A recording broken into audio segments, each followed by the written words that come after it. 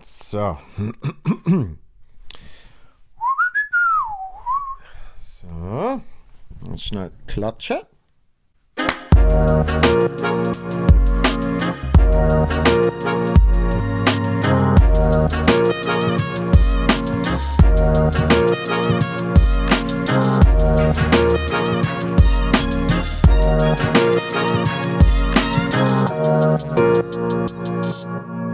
Bim, bim, bim, bim, bim. Hello, willkommen zur nächsten Solo-Folge. Ein bisschen später die Woche. Es ist auch wahnsinnig viel los, ja. Das hört ja gar nicht auf, was wir da alles momentan zu tun haben. Äh, Im positiven Sinn aber natürlich. Ähm, nur kurz, um so ein bisschen updaten. Letzte Woche ist meine Solo-Tour wieder losgegangen habe in Bern im wunderschönen Theater am Käfigturm äh, dürfen spielen. Hat sehr Spaß gemacht. Äh, es gibt auch auf YouTube davon einen kleinen Vlog, damit ihr auch seht, wie das denn so ist, wenn ich äh, auf Tour bin. Ähm, könnt ihr gerne mal reinschauen, wenn ihr wollt. Und noch besser, kommt mal live vorbei. Also heute nehme ich das auf am Mittwoch. Ich spiele jetzt drei Tage hintereinander zu Basel. Und dann äh, spiele ich in Winistorf, in Aarau, in Seewe, in Luzern und in, äh, was ist das? Äh, Neuhausen am Riefall. Das alles noch das Jahr, ja. Sonst dann ein paar Shows, äh, Stand-up-Show im Bernhard Theater, ähm, Swiss Comedy Night in Amme. Wir haben noch Comedy Balz zweimal, unter anderem nächste Woche und so weiter und so fort. So, will euch nicht langweilen, aber das einfach so als kleines Update. Außerdem habe ich noch am Samstag Wochenrundshow mit dem Tabu. Äh, immer ein Spaß, geile Sicht. Das ist auch gleichzeitig meine letzte Wochenrundshow gesehen und eben in Anbetracht davon, äh, wie viel sonst momentan läuft, äh, bin ich jetzt eigentlich recht froh, dass ich ein To-Do weniger haben, so ein grundsätzliches. ähm, aber ich möchte trotzdem noch schnell zwei, drei Sachen darüber sagen, nämlich, dass ich äh, die Sendung immer sehr, sehr gern gemacht habe. Ich habe so äh, ein paar schöne Beziehungen, kann man schon fast sagen, aufgebaut zu Hörerinnen und Hörern, wo immer wieder mal angelötet haben. Und äh, falls äh, die eine oder der andere jetzt hier zulässt. Ähm, es hat auch mit euch immer sehr Spaß gemacht. Vielen herzlichen Dank. Tolle Zeit gesehen. Äh, leider passt die Sendung irgendwie nicht ganz in meinen äh, sonstigen Tagesplan. oder sagen wir eher Obenplan. Und äh, darum habe ich nach zweieinhalb Jahren die jetzt äh, äh an Nagel gehängt, sagt man so schön. Ja. Also ich bin jetzt wieder äh, voll und ganz äh, selbstständig beste Zeit nach der Pandemie, aber so ist es und äh, ich freue mich auf alles, äh, was jetzt noch kommt. Wir kommen jetzt aber natürlich äh, zu euren Mails. Da sind wieder ein paar reingekommen. Einerseits verlose ich zum Schluss noch, ähm, äh, was wir jetzt äh, haben. Und zwar muss ich jetzt gerade schnell überlegen. Was habe ich das letzte Mal gesagt? Diesmal gibt es noch Tickets für die Verlosung, ja. Und für die neue Verlosung, das heißt alle Menschen, die jetzt äh, in der Mail sind, die kriegen äh, Crewneck und eine Kappe. Ähm, seht ihr auf meiner Webseite im Shop, wie die aussehen, falls euch das interessiert. Ähm, weil es jetzt langsam wieder kälter wird, also so eine schöne Pulli und äh, eine Kappe, tut auf jeden Fall gut. Viel gut, steht da drauf, ist ja die Idee. Ähm, so, somit, die Verlosung nachher, jetzt aber zuerst mal eure Mails. Und boah, das geht ja schon schön lang los, ne? PS, ich lese als allererstes PS, nur vorlesen, wenn du es vorher angeschaut hast und sonst einfach nachher lesen. Okay. Ich lese es jetzt einfach.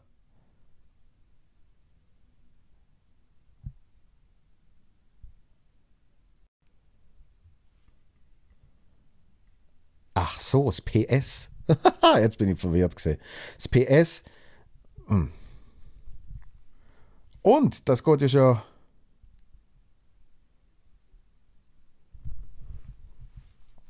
Recht lang. Sally Joel, was ich schon lange mal habe loswerden, super Podcast. Danke vielmals. Ist immer wieder eine Freude, dir und deinen Gästen zuzuhören. Seit dem ersten Lockdown bin ich treu viel gut Hörerin. Das ist ein guter Begriff. Das ist so wie so wie Beliebers oder so, kann man irgendwie viel gooder, viel gooderin. Nein. Äh, vor allem in dieser Zeit hat mir die Podcast sehr geholfen, aus dem Alltag in der Pflege, oh, unter anderem auch auf einer Covid-Station abzuschalten. Wow. Ich hatte nach dem Arbeiten viel Zeit mit dem Podcast und äh, Puzzles verbracht. Puzzles, Puzzles, Puzzles, Putzlis. Ähm, da alles andere äh, Ausgleich praktisch nicht möglich gesehen ist. Ja. Krass. Man taucht ein in eine andere Welt ein, wenn man dir und deinen Gästen zulässt. Immer sehr erfrischend, witzig und inspirierend. Und ich habe es auch sehr geschätzt, dass du Covid im Podcast lang ganz bewusst nicht thematisiert hast. So hätte man das Ganze einfach mal können ausblenden für einen Moment. Darum ein großes Merci an dieser Stelle. Äh, großes Merci an dich an dieser Stelle. Ja, ähm, ist äh, sehr, sehr äh, wichtige und, und äh, essentielle Aufgabe gesehen, die du äh, ausgeführt hast in den letzten Monaten. Und logischerweise auch schon lange davor. Ich rede in meinem jetzigen Programm unter anderem davon, wie ich äh, mal zwei Wochen im Spital war wegen einem Fußbruch. Äh, letztes Jahr ist mir mit Blinddarm abgelegen und so. Und äh, Pflege ist so essentiell. Und ich weiß, ich habe nicht so wahnsinnig riesige Geschichten gehabt und trotzdem bin ich unglaublich froh über alle die Menschen und äh, wirklich sehr, sehr dankbar. Äh, weitere Mail. Ich los den Podcast übrigens genau wie der Typ, den du erzählt hast in der Solo-Folge vom 4.10. Auch oft beim Spazieren mit meinem Kleinen. und etwa die bin ich auch mit der Tragi unterwegs. Traghilfe oder Tragtuch, also das Teil, wo man das Baby vor die Brust schnallt oder bindet. So heißt das. Tragi. Sensationell. die, sein herzhafte und ehrliche Lachen ist. Ah, meins. Oder? Ja, verschrieben. Äh, by the way, das ultimative Feel-Good-Ding, um deine Frage, was deine Hörer so gut fühlen lässt, auch noch zu beantworten. Viele liebe Grüße und ich freue mich auf die weitere Folge danach. Vielen herzlichen Dank, das ist äh, sehr schön. Wir lachen, eben zum Beispiel bei der Wochenrundshow, die ich vorher erwähnt habe, hat auch für das ein oder andere Mail gesorgt, äh, wo nicht so freudig darüber ist. Oh mein Gott, der Lachsack ist wieder da und so Zeugs. Äh, ich muss umstellen. Aber das ist halt wie so oft, wenn man zu jemandem, ich sage jetzt mal, in die Welt eindringt, dann passiert das eher, als wenn man bewusst sagt, ich wähle jetzt äh, zum Beispiel eben diesen Podcast. Äh, wir gehen zum nächsten Mail. Äh, und zwar haben wir da. Ah, jetzt wird es Hochdeutsch. Von alte bekannte Isabel, die ich sehr schätze und immer wieder tolle Sachen schreibt. Lieber Joel, deine letzte Solo-Podcast-Folge vom 11.10. hat unter vielen anderen, wie man in den Kommentaren liest, auch mich sehr berührt äh, und mich selbst nachdenklich gestimmt. Es ist ein Riesengeschenk, wenn man wie du feststellt, dass man beruflich genau da ist, wo man sein will und es einem, in Klammer im Großen und Ganzen, Klammer zu, gefällt. Wie auch bei dir gibt es in meinem Beruf Dinge, die ich nicht so gerne mag, aber die Arbeiten, die mich funkeln lassen und, be und Befriedigung bringen, überwiegen und das ist die Hauptsache daran. Mein Vorgesetzter hat mir mal gesagt, dass man merke, dass ich in gewissen Dingen aufblühe und genau das ist es, was man im Alltag benötigt und nicht an die Frage, um nicht an die Frage, wieso mache ich das zu denken. Absolut.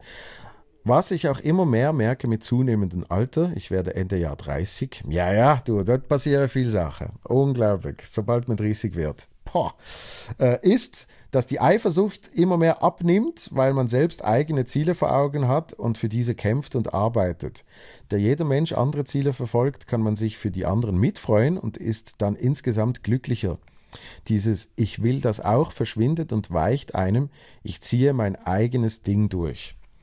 Das kann ich zu 100% unterschreiben, weil äh, ich habe so viele Kolleginnen und Kollegen in, äh, schon nur über der Comedy, wo wir alle haben mal eine Phase, wo es, besser läuft und dann hat eine, wo es wieder ein bisschen weniger läuft und so.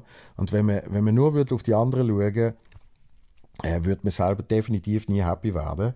Und äh, es gibt so wirklich einen sehr, sehr simplen Satz, wo, wo ich mir aber auch so ein bisschen als Mantra genommen habe, nämlich, äh, don't chase the competition, chase the dream. So, haben wir schon mal eine kleine Weisheitsnugget dropped in dem Pod. Don't chase the competition, chase the dream. So. Ähm, und das sehe ich aber wirklich genau als das. Und, und wo ich gemerkt habe, dass ich das wirklich für mich kann verinnerlichen kann, ist es mir sofort besser gegangen. Weil ähm, das Traurige ist, selbst wenn man jetzt äh, gefühlt an der Spitze ist, würde man immer noch die Vergleiche anstellen und trotzdem nicht happy werden. Und eben die Spitze ist so individuell definierbar, dass man es gar nicht kann. Bei den einen ist es Ticketverkäufe, bei den anderen ist es äh, Qualität, bei der dritten ist es äh, Follower, äh, bei der vierten ist es wie viel äh, Lacher in der Minute und so weiter und so fort. Ist jetzt schon nur mal auf Comedy bezogen. Drum, äh, absolut. Ich fand das irgendwie passend, um mit euch zu teilen. Das gehört für mich auch ein wenig zu viel gut. Absolut. Nur noch etwas, was ich tue, um mich gut zu fühlen, was ich noch nicht von anderen Gleichgesinnten gehört habe. Den Himmel und die Natur genießen. Es ist erstaunlich, was man mit der Zeit schätzen lernt. Ein roter Himmel mit untergehender Sonne, ein Vollmond mit klarem Sternenhimmel, an sowas kann ich mich nie satt sehen. Wir wissen zwar viel von dir, aber hast du aber du hast in all deinen Podcasts diese Frage nie selbst konkret beantwortet. Deshalb bin ich so frei und gebe die Frage an dich zurück. Was machst du, um dich gut zu fühlen? Liebe Grüße aus Gladbruck, Opfikon, Isabel. Hey, äh, nur schnell, Himmel finde ich. ich denke sowieso eine Teenie. Himmel finde ich mega geil. Himmel, ey, Himmel, geil. Richtig geil. Finde ich aber wirklich so. Äh, es gibt so eine App, es gibt verschiedene natürlich, aber meine heißt, boah, wie heißt die? Sky Viewer oder so. Ähm, und dann kann man zur Nacht kann man so das Handy aufheben und danach kann man so sehen, was welcher Stern ist oder sogar welcher Planet. Oft ist es eben ein Planet und dann kann man auch die ganzen Sternengebilde ähm, anzeigen lassen und sieht, wo sie die, ähm, wo dann eben zum Beispiel der Planet, welche Kreis, Kreis, Kreisbahn, Laufbahn, ja, welcher Kreis auf der Planet macht boah, es gibt so Momente, da fühle ich mich richtig dumm. Das ist jetzt so eigentlich, ich kann das nicht mal richtig erklären. Was mache ich, um mich gut zu fühlen? Das ist, ähm, ich glaube, in einer Folge ist es mal ein bisschen darum gegangen, was ich konkret mache. Ähm, einerseits das, was ich mache. Also Auftreten ist für mich effektiv wie Ferien. Ich kann, was weiß ich, alles haben an dem Moment, wo ich auf die Bühne gehe. Selbst wenn es eine beschissene Show ist, pff, da bin ich weg. Also das, das ist sicher ein großer Teil davon. Dann äh, habe ich ausgewählt, äh, habe ich sehr gerne Gesellschaft. Mit ausgewählt meine ich wirklich, wenn ich bemerke, heute ist nicht so der Tag, wo ich jetzt irgendwie groß unter Leute will, ähm, dann lohne ich es lieber. Hingegen, wenn ich mich äh, richtig darauf freue und, und Bock habe, ähm, dann äh, habe ich super viel Spaß und, und genieße es einfach. Ja? Also Zeit mit den Liebsten heißt das ja immer so schön äh, im schweizerischen Umgangsspruchlichen. Äh, äh, ähm, was ich mache seit Jahren, ist jede Dusche, egal wie fest es mich anschießt, kalt duschen. Und zwar äh, nicht durchgehend, sondern zuerst warm und am Schluss Hebel um. Und ähm, jetzt zum Beispiel bin ich gerade äh, in meinem äh, Zimmer in Zürich und ähm, da, das ist so ein altes Gebäude, wobei jetzt zu Basel auch, muss ich ehrlich sein. Die alten Gebäude, das ist richtig schön kalt. Wenn da der Hebel auf kalt geht, das ist dann effektiv, boah. So, und das mache ich ähm, dann ähm, ein, zwei Minuten einfach noch kalt von oben bis unten und von unten bis oben. Und äh, das ist so ein Kurzeffekt von ich fühle mich gut. Ähm, manchmal auch bewusst das Handy weglegen. Ich probiere am Morgen äh, mir ein bisschen Zeit zu geben. Jetzt, während ich das erzähle, merke ich, dass ich es nicht mehr so konsequent mache ein bisschen Zeit zu geben ohne Handy, bis ich effektiv, ich sage dann immer, die Außenwelt reinlasse. Ja. Ähm, das hilft mir. Ähm, schlafen. Ich, ich bin leider einer, der sehr spät immer gut schlafen aber ähm, ich probiere trotzdem meine sechs bis sechs ist das Minimum, ja, aber eher sieben Stunden anzukriegen. Wenn ich das schaffe, dann bin ich, Dann bin ich auch ausgeruht. Manchmal muss ich dann ein bisschen nachholen dann sind es halt acht. Habe ich probiert, dort also plus minus einen gleichen Rhythmus zu haben. Ähm, und dann äh, fühle ich mich auch gut. Das so, so ein bisschen die, die groben Sachen. Aber es ist, es ist spannend, dass zum Beispiel auch der Podcast so einen Effekt für mich hat. Ähm, nämlich mit denen Gästen zu reden, denen ihr Hirn äh, ein bisschen äh, zu picken, wie man so schön sagt. Das ist, glaube ich, der englische Ausdruck, to pick their brain. Ja? Aber mich mit diesen Leuten austauschen und eben auch hören, was sie machen, das, das, das gibt mir irgendwie selber auch wieder etwas. Und ich probiere dann gewisse Sachen aus und sie mal implementieren. Äh, ich habe mal nicht mehr gelesen, für die Kreativität sollte man keine Musik hören, wenn man irgendwie in einer Stadt ist. Man sollte Stadt hören. Dann habe ich gemerkt, ah, nachdem ich es gemacht habe, das passt mir jetzt nicht null. Ich bin besser kreativ, zum Beispiel, wenn ich in meiner eigenen Welt bin. Ähm, und das mache ich dann mit Musik. Und dann kann ich ja sehr ausgewählt irgendwie Sachen beobachten oder eben irgendwie umdenken und so. Äh, und darum auch Materialien arbeiten, merke ich auch, ähm, gehört für mich zum Auftreten dazu.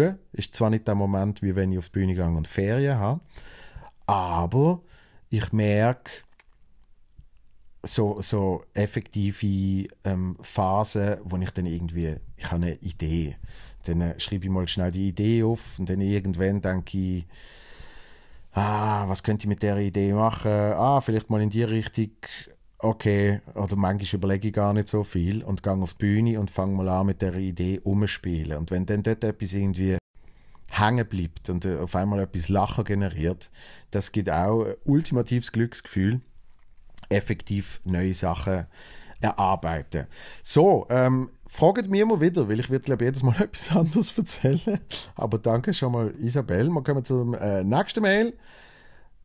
Hoi Joel, um mich nicht nur gut, sondern sehr gut zu fühlen, gehe ich am liebsten in die Berge. Ich liebe das Bergwandern, die Ruhe, die Natur. Für mich gibt es nichts Besseres, um sich körperlich zu betätigen und somit etwas Gutes für den Körper zu tun und gleichzeitig vom Alltag abzuschalten und die Ruhe zu genießen. Für mich Win-Win. Ich habe leider noch nie eine Show von dir gesehen und würde mich daher sehr freuen, dich live zu sehen. Lieber Gruß, Nadine. Dankeschön, Nadine. Ähm, dann komm mal vorbei. So einfach. Auf meiner Webseite sind alle äh, Tourtermine für eben Mixed Shows und natürlich mein Solo-Standoff. Und ähm, würde mich sehr freuen. Ähm, und, und bitte äh, zeigt die auch äh, nachher, äh, gibt die zu erkennen nach der Show. Ich stand meistens noch irgendjemand rum und, und äh, schwätze auch sehr gern direkt mit den Leuten. Das ist übrigens auch etwas, wo, wo mich äh, gut fühlen lässt. Und das meine ich sicher mit einem bisschen mehr Ego, wo sich natürlich boostet, wenn man Kompliment kriegt. Aber ich sehe es viel weniger als Kompliment für mich, sondern viel mehr, wenn ich merke, dass mit dem, was ich gemacht habe, ich jemand anderem Freude gemacht habe, das gibt mir ein unglaublich ja, gutes Gefühl, respektive Glücksgefühl. So.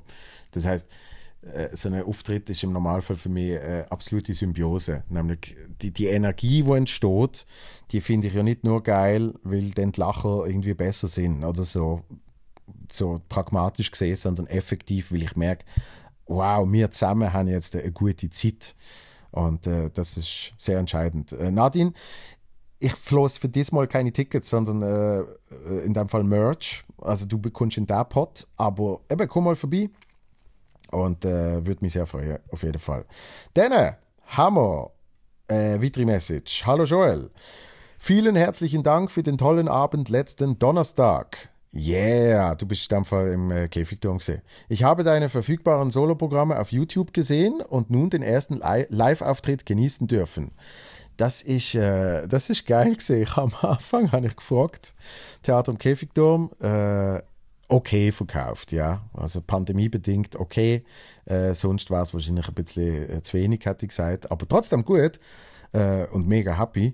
80 Leute und noch ein paar irgendwie. Und ich frage so, äh, wer hat schon mal eine Show von mir gesehen? Und einfach niemand hat aufgestreckt. Und äh, das hat mich ganz ehrlich sogar gefreut, weil ich, ich finde das irgendwie geil, weil das zeigt, dass Menschen Bock kriegen. mega zu schauen. Und äh, drum, also auch schon mal dir, danke vielmals. Ich bin immer wieder fasziniert, wie du Erlebtes so lustig ausarbeiten und rüberbringen kannst. Das mit dem Unterschreiben von Grußkarten, zum Beispiel kenne ich von mir selber nur zu gut. Es hat richtig gut getan, einfach abzuschalten und zu lachen. Nach der Show haben meine Freundin und ich, meine Freundin und ich noch ein Foto mit dir gemacht. Sorry, Milase ist heute sehr, sehr äh, schulisch äh, im Anfangsstadium. Ähm, besser gesagt, Cenk hat es gemacht. Ja, stimmt. Cenk hat Support gespielt und äh, äh, er ist so nett, wenn, wenn, er nach der Show oben ist, dann nimmt er gerne mal die Kamera in die Hand und macht ins Foto. Ähm, danach fühlten wir uns ein wenig schlecht weil er den Kameramann, Kameramann spielen musste. Er hat es ja angeboten, schrieb den Klammer. Siehst? An dieser Stelle möchte ich deshalb erwähnen, dass wir ihn auch super toll gefunden haben. Zu Hause haben wir auch noch die entsprechende Staffel von Best Friends in die entsprechende Staffel von Best Friends reingeschaut und haben uns noch einmal amüsiert. Sehr schön. Das freut mich. Ja, also mir sich nicht schlecht fühlen, wenn der Cenk anbietet, dass es Foto macht. Im Gegenteil. Ähm, danke auch für die wöchentliche Unterhaltung in Form der Podcast. Ich höre sie jeweils zum Putzen der Küche. Boah, tust du so oft Küche putzen. Und fühle mich so besonders motiviert. Sehr gut. Bis jetzt habe ich jede Folge gehört, slash gesehen und danke dir, dass ich Men Menschen kennenlernen durfte. Boah, heute meine Augen und mein Hirn werden nicht zusammen mit dem Mund. Ich lese nochmal. Bis jetzt habe ich jede Folge gehört, slash gesehen und danke dir, dass ich Menschen kennenlernen durfte, welche ich bisher noch nicht gekannt habe oder mit denen ich mich aus verschiedenen Gründen nicht näher befasst habe. So, ich muss glaube einfach halb so schnell lesen, dann kommt es gut. Ich finde es immer wieder spannend, wie sich die Gespräche in unterschiedliche Richtungen entwickeln können. Und ich kann mir das sehr gut vorstellen, dass du zum Schluss einer Folge gar nicht mehr weißt, über was du mit deinem Gast überhaupt gesprochen hast. Das ist so. Ähm, und das finde ich, eben, dort fühle ich mich gut, weil man zoomt so rein, man ist einfach in einem Gespräch und irgendwann schaut man auf die Uhr und sagt, boah, ist schon drei Viertelstunden vergangen, schon eine Stunde, schon eineinhalb. Und ähm, darum probiere ich auch nicht irgendwie eben Fragen zu vorbereiten oder so Sachen, sondern ja, wir schwätzen einfach. Hey, du sitzt da, ich sitze da, let's go. Ich konsumiere regelmäßig verschiedene Arten von Comedy, meine Freundin kann dies bestätigen verfolge dich jedoch am meisten, da du mit deiner Art und deinem Lachen eine gewisse Lebensfreude versprühst. Das freut mich sehr, danke. So, jetzt habe ich es auch einmal geschafft, ein Mail zu schreiben und hoffe auf etwas Glück bei der Verlosung. Liebe Grüße, Jan. Jan, danke vielmals. Danke, danke, danke. Und letztes Mail für heute kommt da. Lieber Joel, da ich vermeiden möchte, dass du mein Bärendeutsch versuchst korrekt zu lesen und dabei scheiterst, meine Nachricht auf Hochdeutsch. ich merke immer, wenn ich Hochdeutsch vorlese, dann habe ich so eine Schweizer Hochdeutsch. So, ja, hier meine Nachricht auf Hochdeutsch. Lali, lali, la. Ne? Ähm, aber wenn ich effektiv auf Deutsch auftritt, dann spreche ich schon Hochdeutsch. So. Mega komisch. Interessiert wahrscheinlich keine Sau. Ich höre nun seit einigen Monaten dein Feelgood Podcast und wollte dir einfach mal Danke sagen. Mein Arbeitsweg ist sehr kurzweilig geworden. Seit April fahre ich mit dem Auto zur Arbeit und ich hatte im Vorfeld Angst, dass meine Lesestunden im Zug nicht ersetzt werden können. Denn Radio und somit News hören kam so gar nicht in Frage. Das ist, das ist beispielsweise etwas, was ich tue, klammere oder eben nicht tue, um mich gut zu fühlen, keine News mehr, keine News mehr stündlich oder täglich konsumieren. Ähm, verstand absolut. Äh, seit ich im Sommer 2020 damit aufgehört habe, geht es mir viel besser. Alles wirklich Wichtige kriegt man dann schon mit. Ja, ähm, mit dem, glaub, mit dem Aaron Herz ähm, auch ein bisschen über das Thema geredet. Also falls du mal ein bisschen mehr von mir zu diesem Thema hören damit ich mich nicht immer konstant wiederhole. Anstelle von Musik oder Radio höre ich also auf dem Arbeitsweg, klammere oft deine, klammere zu, Podcasts. Nun habe ich beinahe alle nachgehört und warte jeweils auf die neuen.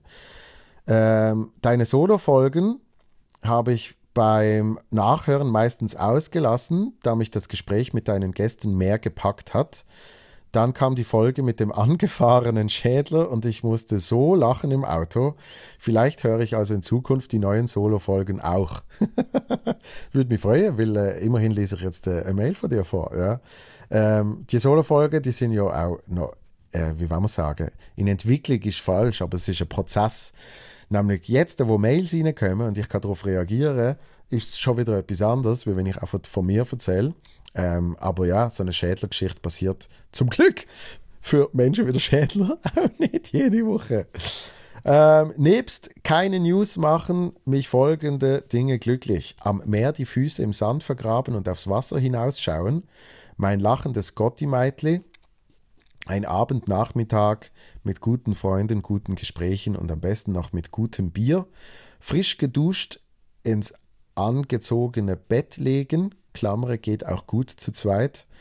Ja, verstanden. Also frisch Dusche und Bett auch. Auf Reisen sein. Das habe ich natürlich zum Beispiel jetzt aber auch noch nicht erwähnt. Reise. Ja, mache ich super gern. Ähm, vergisst mir ein bisschen, weil, weil mir jetzt nicht wirklich ist reisen.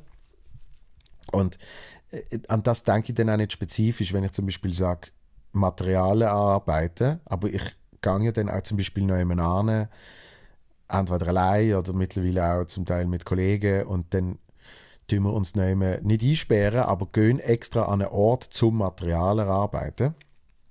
Und ähm, dort geht es mir natürlich auch darum, dass man irgendwie etwas an dem Ort entdeckt. Und eben zum Beispiel jetzt das sind wir in Flims gesehen und äh, äh, sind an äh, Kaumasee und das ist, pff, dort bin ich der Frank und der Sven sind nachgekommen und ich bin zuerst, glaube eine Stunde oder so, bin ich allein gesehen. Und es ist äh, ein fucking Dream gesehen. Es ist so geil gesehen. Das heißt, das, das verbindet dann irgendwie so alles. Also ich glaube, Neugier ist etwas, wo, wo ich mir auch nach wie vor sogar antrainiere, ähm, dass ich eben nicht nur finde, nein, mache ich nicht, mache ich nicht, sondern viele Leute finden ihn dumm, aber ich liebe ihn. Der Yes Man ist so ein geiler Film in diesem Bezug. Einfach schon nur von der Grundidee, dass man einfach Ja sagt. Und seit ich Comedy mache, sage ich viel öfters Ja, weil mein Gedanke immer so ist, vielleicht passiert ja etwas Lustiges. Damit ich das dann wieder in ein Programm packe oder vielleicht mittlerweile auch im, im Podcast erzähle. Und äh, durch das habe ich schon oft Sachen zugesagt, wo ich sonst früher noch gesagt hätte, nein, will ich nicht. Und, und dann passieren aber wirklich auch tolle Sachen. Ja, ich, ich, ich, ich finde immer zum Beispiel allein an einem Geburtstag von jemandem oder so, oh, das habe ich so, das stresst mich immer noch. Es ist nicht so, dass ich jetzt finde, ja, voll. Aber, aber ich überwinde mich trotzdem ab und zu. Und ich bin zum Beispiel mal an einem Geburtstag von einer Kollegin und dann habe ich dort mit einem, und jetzt, da sehe ich jetzt jedes Mal an dem Geburtstag, ja. Und wir haben nachher nie mehr so ein Gespräch gehabt. Aber damals haben wir irgendwie drei Stunden haben wir ein sensationelles Gespräch gehabt. Und jetzt äh, kann ich an den Geburtstag gehen und der kommt logischerweise auch dann. Sorry. Und wir sehen uns und sagen, hey, schön, schön bist du, wie geht's, alles klar. Und wir gehen nicht mehr in so ein Gespräch rein, aber ich weiß noch, wie das, äh, weil das damals so ein geiles Gespräch war und ich nachher wirklich gefunden habe, wow, super. Ähm, eben Neugier, äh, offen sein, so, das, das tut dann einem wirklich auch einen Moment bescheren, wo man sich so richtig gut fühlt. In L.A. habe ich mal mit einem Architekt zwei Stunden geschwätzt. Und natürlich haben wir nachher noch auf Instagram so, hey, da, das war mein Ding und das ist dein und irgendwie so, hey, schön mit dir zu reden. Nie mehr Kontakt, weil es einfach so der Moment völlig vorbei. Aber shit, ist das geil gesehen, mit dem zwei Stunden zu labern. Ich hätte mir schaffen, er hätte mir schaffen. Und irgendwie bist du so in so einem Kaffee, nicht Kaffee, nein, in einer Hotellobby am Tisch und irgendwie bist du so kurz Smalltalking, irgendwie mehr so irgendeine dumme Bemerkung oder so. Und dann kommst du ins Gespräch und dann schwätzen wir und schwätzen wir. Und äh, boah, irgendwie, ich will alles wissen. Eben, das war so wie eine Podcast-Folge, dann sehe ich so, ich will alles wissen über Architektur und er fragt mich irgendwie wegen Comedy und äh, es ist super gesehen. Und das habe ich zum Beispiel auch oft im Flugzeug. Ähm, das finde ich auch so einen schönen Begriff, Single Serving Friends. Es klingt so negativ, aber es hat wirklich so etwas. Nämlich auch dort, äh, mal, was habe ich gehabt? Ich glaube, ein, Fernseh, Fernsehgig in, in, in Berlin und bin beide Flüge nur am Schwätzen gesehen mit jemandem. Das eine Mal mit einem Regisseur, das andere Mal mit einer Schauspielerin. Und wir haben auch Top-Gespräche gehabt. Und dann geht es nicht nur um die Arbeit oder was weiß ich, sondern wir haben wirklich ein tolles Gespräch gehabt. So ab dem Moment, wo das Flugzeug anfängt sich bewegen, bis zum Moment nach der Landung, beide Mal. Und ja, man hat dann eigentlich nicht wirklich Kontakt mit diesen Leuten, aber irgendwie sieht man sie trotzdem noch ab und zu auf Social Media.